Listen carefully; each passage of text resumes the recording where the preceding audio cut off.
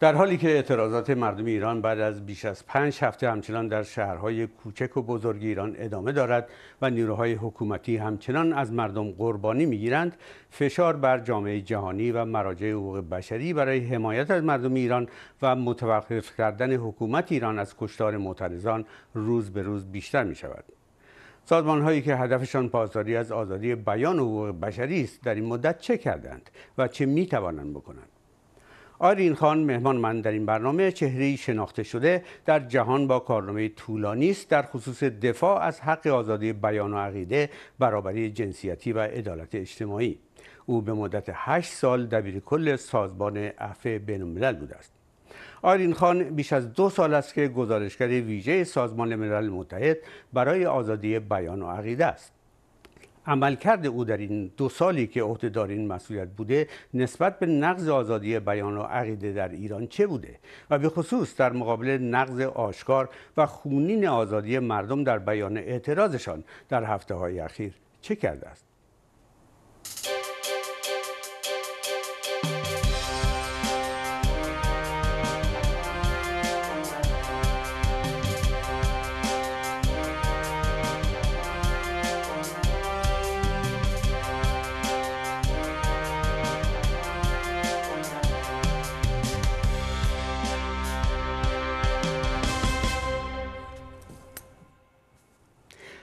Irene Khan, welcome to Diyar. Thank you for inviting me. I know that uh, as a special rapporteur on uh, freedom of expression uh, and opinion, you're responsible for over 190 countries, not just Iran. Um, but uh, before we start um, our, my question, um, can you tell me very briefly what exactly you do? Well, I am an independent expert independent in the sense that I'm not an employee of the United Nations. I do not receive a salary from them. I have been appointed by member states, not by the UN Secretary General, but by the member states to monitor the situation of freedom of opinion and expression around the world, to report to the UN General Assembly and to the UN Human Rights Council on issues that I think are important, and to take up complaints from individuals uh, and with governments and discuss with them laws and reaction to individual complaints uh, to try to improve the situation for people. And overall, to draw attention of the world to this very important fundamental human right. And what authority do you have? Mm, I don't have any authority. I have my voice and I have my credibility. And with that, moral authority, I can, I can say, of the UN, I try to draw attention to the many, many violations of human rights and particularly a freedom of expression that takes place because freedom of expression is one of those rights that are as important to democracy as they are to development and fundamental for human dignity. As human beings, we must be free to think the way we wish to think, that is our opinion, and to be able to express and share our views with others. That's the right that I want to see protected. That's the right on, on, on which we, I speak on behalf of many, many people whose voices are being silenced. And um, by what means do you carry out your responsibilities? I assume one of, one of it would be to travel to the countries that you're investigating. I travel to the countries uh, that I wish to see on the ground what is happening. Uh, sometimes I carry out what is called full country visits with the authority of the, uh, with the invitation, at the invitation of the government, investigate things. Sometimes I visit countries uh, on an informal basis uh, to meet with government officials, but also with civil society, with individuals who are affected. I write reports to the UN, I write letters, communications to the governments directly with them, and have a dialogue with them directly. So that's important that countries take this mandate very seriously, and most countries take it very seriously. They do respond, uh, they do talk to us, uh, talk to me and uh, my peers who, are, who have other similar mandates. And um, even more countries, they, they don't talk to you, but they, don't, they won't let you in. Well, there are many countries that hesitate to let in the special rapporteur. Uh, on the other hand, there are some that actually invite me to come in, and some that I have to persuade and push and prod and you know to, to get in. Uh, but they do pay attention to what we say, mm-hmm. because mm-hmm. at the UN, when I present my report, they are there they're making statements, whether it's positive, negative, they're there and they're paying, paying attention mm-hmm. to what, what I'm saying. Where would you place Iran in the list of countries who are violating the uh, freedom of, uh, of, expression and uh, opinion? I think the situation of freedom of expression in Iran is a very difficult one uh, in terms of media, journalists, independent journalists, they are under extreme pressure there. I receive complaints, I receive information from individuals uh, who feel that they are unable to carry out the work. It's not only journalists, human rights activists, um, environmental activists, artists, writers, uh, they all come under pressure from the authorities. And I, I, speak up on their behalf, I pick up their cases uh, with, the, with the government. So, uh, would you agree that Iran could be one of the worst countries in terms of um, uh, violations? It's always a dangerous and a difficult game to say this is worse because there may turn out to be one that is even worse. Mm -hmm. So I don't want to put um, Iran in, in, in that sort of a category, but what I can say is freedom of expression and opinion is under extreme pressure in mm -hmm. Iran. Have you been able to travel to Iran? No, not in this capacity. Um, is it because they wouldn't let you go? Well, uh, just recently, a week ago, uh, I was in New York at the UN General Assembly, Third Committee, presenting my report uh, of, for this year. And the Iranian government, among a number of few other governments, took the floor and said that the information that I had provided in my report was not correct, that I was listening to the wrong uh, kinds of people. And I made an open statement from the podium saying, if the countries including Iran, believe that I'm not getting the facts right, then all you have to do is to invite me to come in, give me free reign. I will meet with everyone, listen to everyone, including your officials, but also civil society, also other individuals, and then let's come back and talk about what's actually happening there. I didn't get a response. Mm -hmm. But uh, I mean, you've been in this position for just over two years. Um, as far as Iran is concerned, what have you done?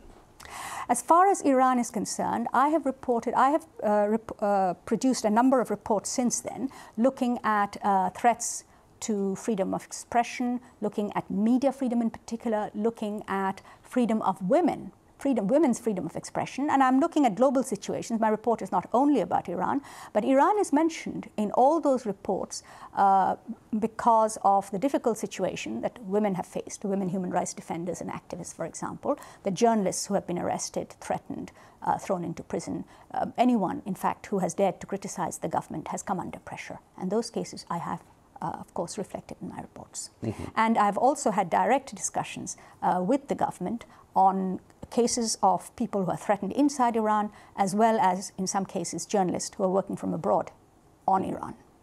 And what has been the response we get from the Iranian government? The government response, which is, I think, an important point to make, uh, they take uh, my report seriously enough to respond, and I uh, appreciate that.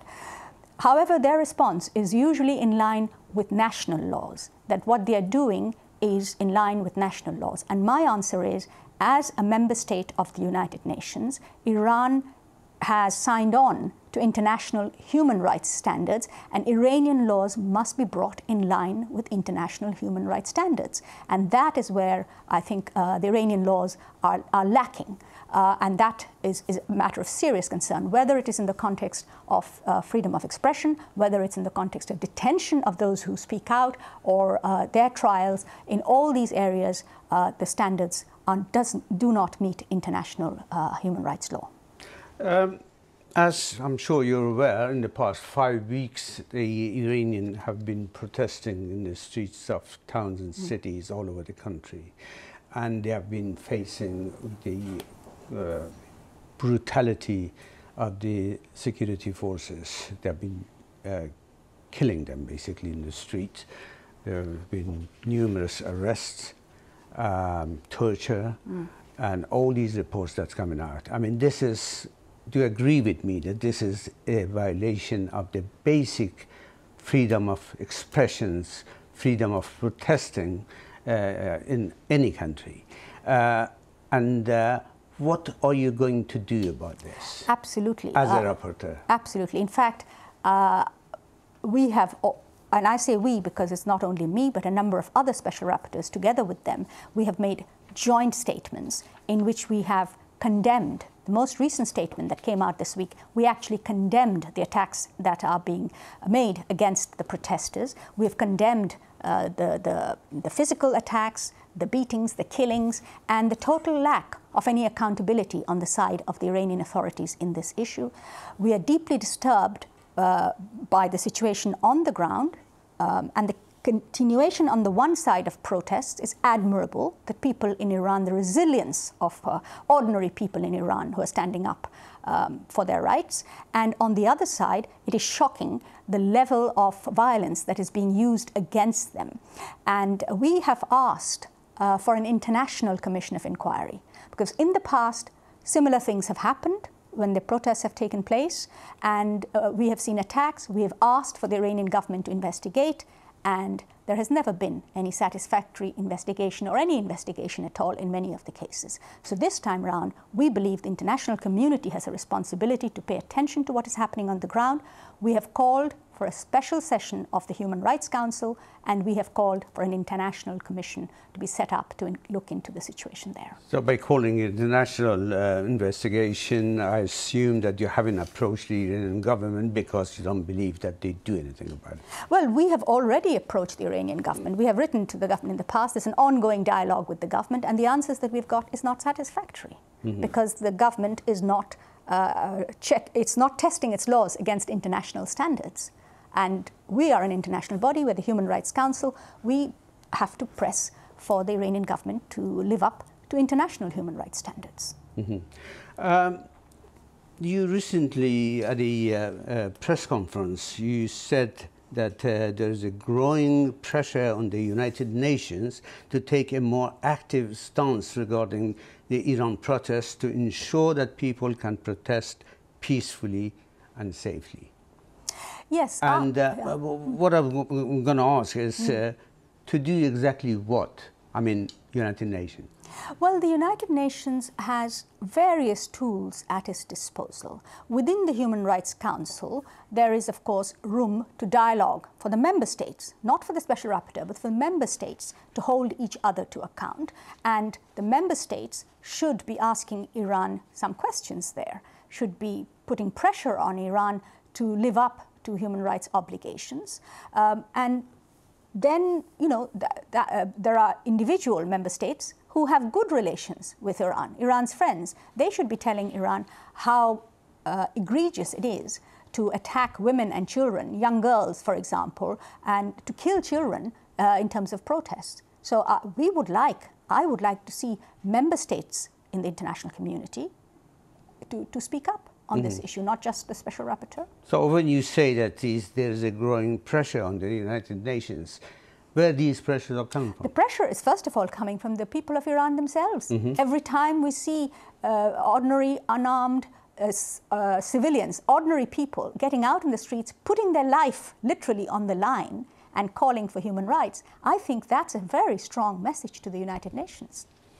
Um, we often hear from the Iranians, uh, frustrated Iranians, that uh, the Western countries uh, make a lot of noise about the human rights and all that, but when the time comes, they basically uh, forget about the human rights in favor of economic interests.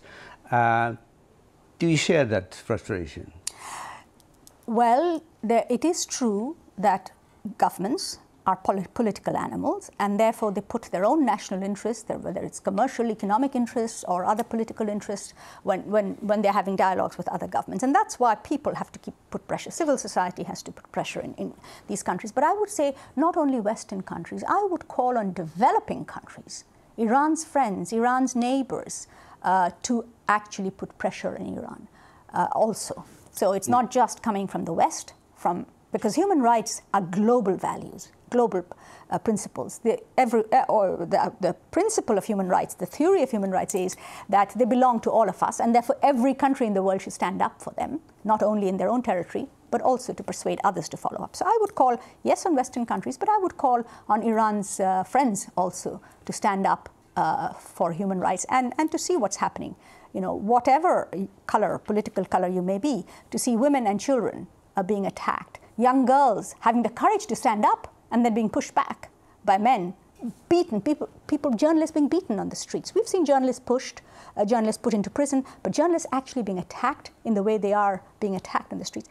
There, there are some very disturbing signs, I think, in these protests. Mm-hmm. And I think the friends of Iran, as well as others, uh, should be telling Iran uh, to, to order the, these kinds of practices to end.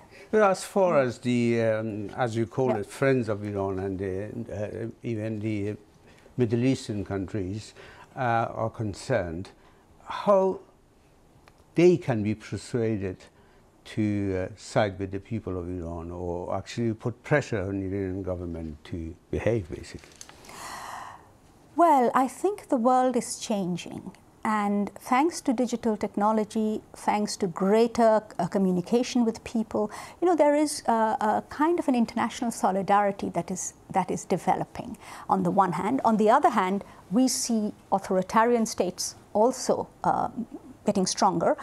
There is, and, and we see a very kind of a disturbing situation in the world right now.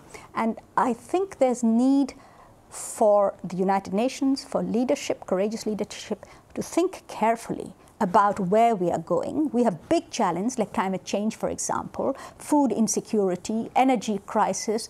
All these things cannot be solved unless you come together.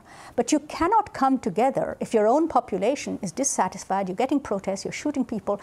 It's not a situation conducive to uh, international stability. International stability is in everyone's interest, Iran's or others.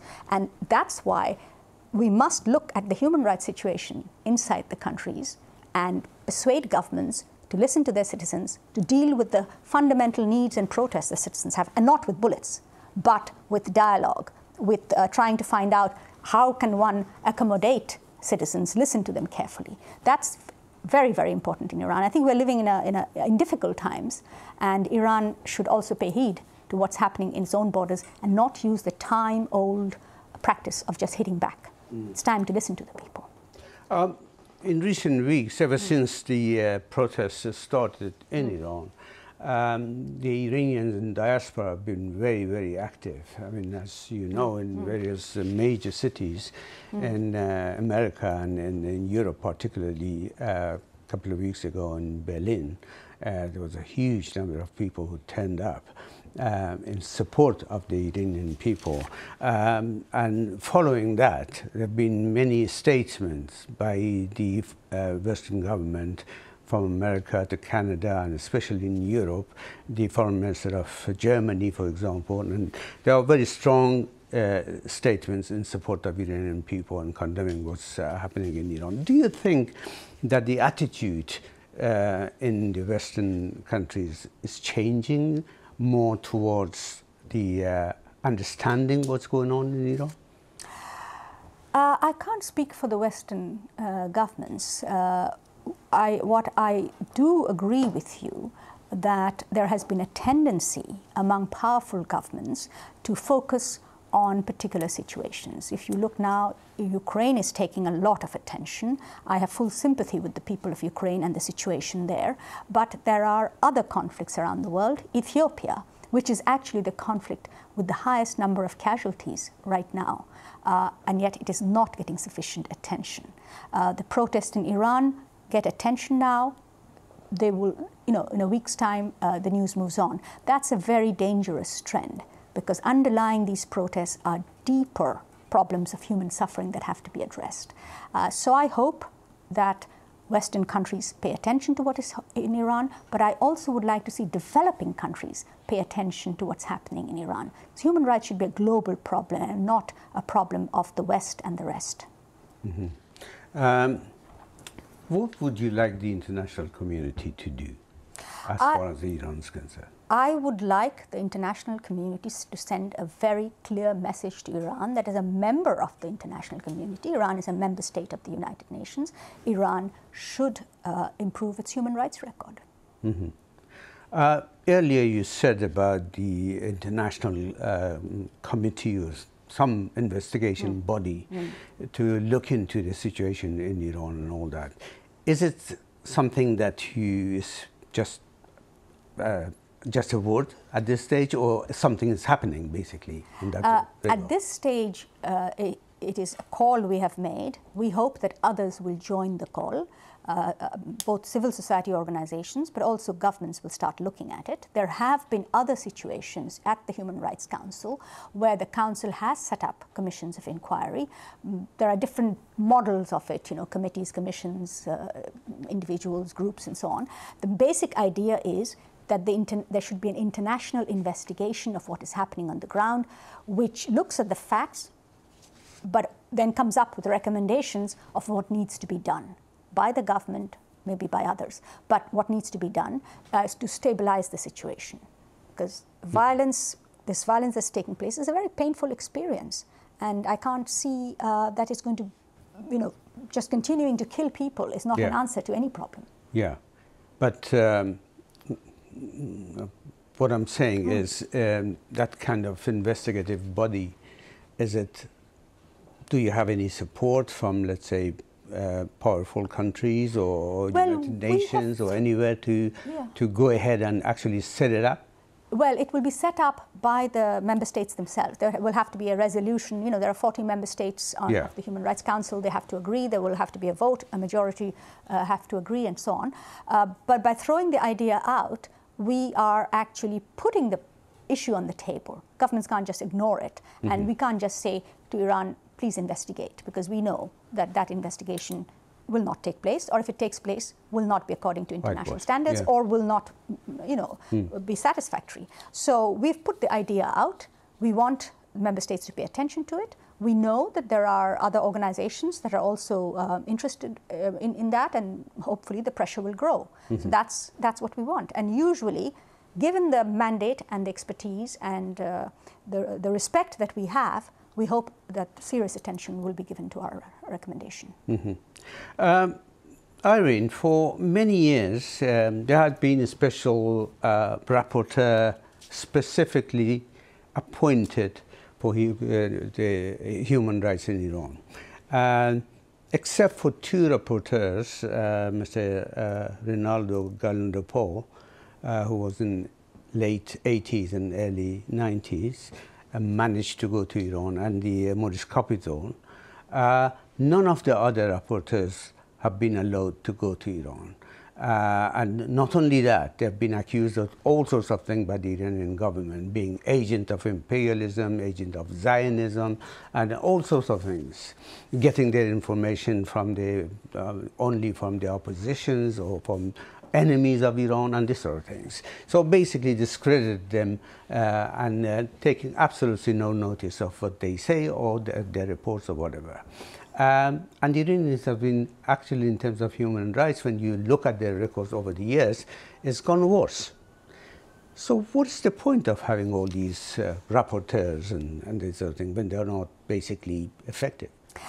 Well, you know, uh, a rapporteur is an individual, an individual expert. An individual expert is not going to change the world. That's impossible. What they do is they keep the issue on the agenda. Because there is a special rapporteur in Iran, Iran is on the human rights agenda every year. There is discussion, there is international attention, there is the possibility for the rapporteur to uh, speak to the government, to engage and uh, along with us, uh, with the government. So the idea that the human rights situation is fine in Iran, we can forget it.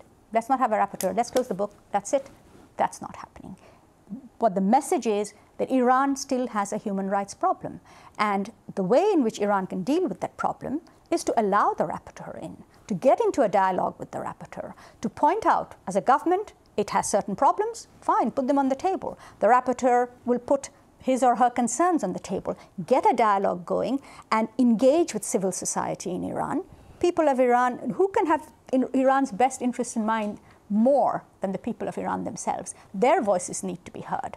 What I'm asking is probably a total mind shift in the way in which the government looks at international organizations. It engages with us. So that means it cares about what we are saying. So why don't you allow us to come in, sit down with you, talk to you, see what is happening on the ground, and listen to us. Listen to us and listen to the people of Iran. So we have to keep pushing. You know, in the business of hope, I call myself a hope monger. In the business of human rights, you have to have hope and you have to keep pushing, pushing, pushing, and pushing. Um, as you know, for many years, uh, the BBC Persian journalists have been harassed uh, and their parents inside Iran have been harassed by the Iranian authorities and they uh, want, they, uh, their, their parents have been forced to tell their children not to work for BBC Persian and also many other things. And financially, they uh, been uh, the assets have been freezed in Iran and all that. And um, recently, they added other journalists other than BBC Persian journalists to that. So the pressure, as you said it earlier mm. on, uh, on the journalists, especially those working for the international media outside Iran, have been immense. And recently, the Iranian authorities looks like they are renewing their threat against uh, BBC Persian and other journalists abroad. Uh, these are clearly the worst violation of the freedom of expression. Uh, so what uh, have you been doing about this sort of thing, or are you planning to do? Yes. No, in fact, I have been engaged on this case, and my predecessor as well. So it goes back a couple of years uh, that we have been uh, in, uh, talking to uh, the BBC Persian Service journalists themselves, individuals who have been affected. We have taken their cases, we've written to the government, uh, we've had uh, and, and, and I must say, what is happening to the individuals is absolutely shocking. You know, online, from a distance, online uh, um, attacks, uh, uh not only on the individuals, but on their families in Iran, but also their families here in the UK. I've had one case of a woman journalist whose son was sent some horrible uh, fake uh, news about the mother at a school. So it's, it's, at a human level, it is absolutely shocking, deplorable. At a professional level, I think it is also totally uh, very disruptive for journalists. Uh, their property has been seized or uh, blocked, uh, uh, confiscated in Iran. Families have been put under pressure, absolutely horrible. And uh, we have taken up the cases because I think it's absolutely unlawful to have this kind of digital, digital attacks from across the border. We think a number of the activities, uh, actions that are being taken in Iran are unlawful. And the government has responded to me, actually. I wrote my most recent letter was in May, and I got a response from the government in July, where the government believes that what they're doing is uh, justified under Iranian law. And then the government has gone on to talk about the BBC and how it considers that journalism by BBC is, is uh, uh, criminal activity uh, attacking Iranian interests and so on. And my answer to the government would be that journalism is not a crime. Uh, journalists uh, are putting their news out there, and the way to address the, those news is by the Iranian government putting out its own information out on the ground, not by attacking journalists. Attack of journalists is actually uh, is a violation of the freedom of expression, not only of the journalist, but of society's right to know. What you're doing as a journalist, you're doing a social, you're carrying out a social function, mm-hmm. and uh, there are different views. The, Iranian government will disagree with the BBC. Fair enough. Well, let the Iranian media put forward, Iranian government media put forward their views. Mm-hmm. But you, that does not mean that the Iranian government should be attacking individuals mm. who are dual nationals um, or their families in Iran. Thank you very much, Irene Khan, for being the guest of again. Thank you. Thank you.